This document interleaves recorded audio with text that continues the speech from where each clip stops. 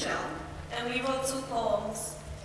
We put these poems together after a long, hard commute in the subway. on our way to our weekly Sunday meeting.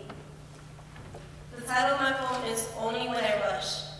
It's early in the morning, blankets warm, feel so good.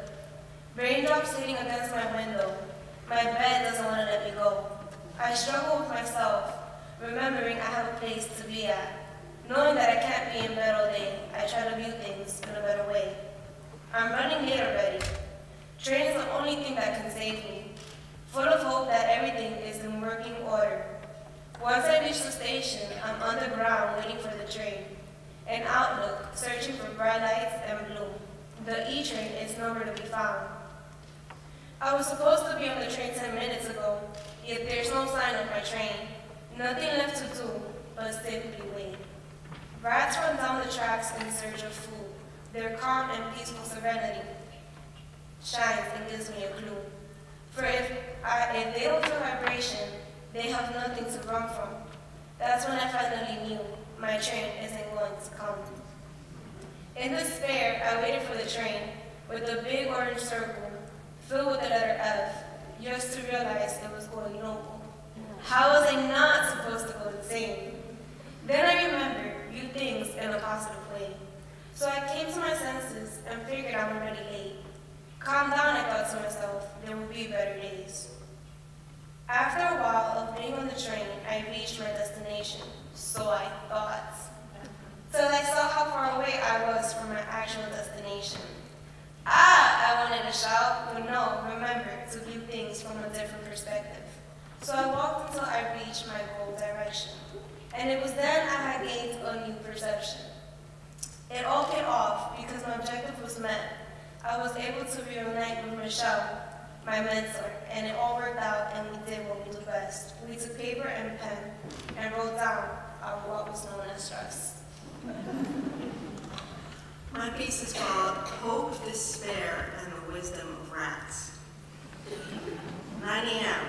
I wake up, a little later than I wanted to. The tip-tap of the rain, part lullaby, luring me to sleep, and part disturbance.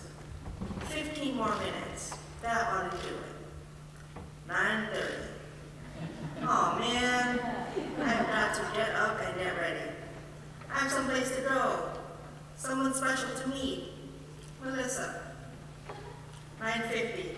I look out the window. I hope the walk to the subway won't be too bad. If I leave now, I'll get the A and get to Girls Write Now in half hour. 10 a.m. So much for hope. The rain followed me into the subway stop. You'll have to get past me to see her, it seems to say. The rain poured onto the tracks. The rats looked at me from across the platform. Nuh-uh, say the rats. The big one looks north. I sigh. It's cold outside. Back to the rain. Despair. 10.15. Another stop. Hope is renewed. The, the rain has not followed me here. Good. I have some place to be. I am anxious and pacing. I look to the rats. They know what's up. They'll tell me if the train comes.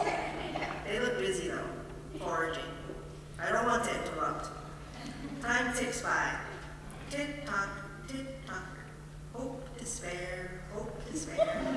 Tell me something, Mr. Rat. 10:30. Finally, he looks up and scurries across the tracks. Hope. A light, dim at first, shining on the tracks.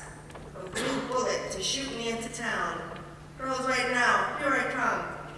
I have a girl I want to ride with. Soon.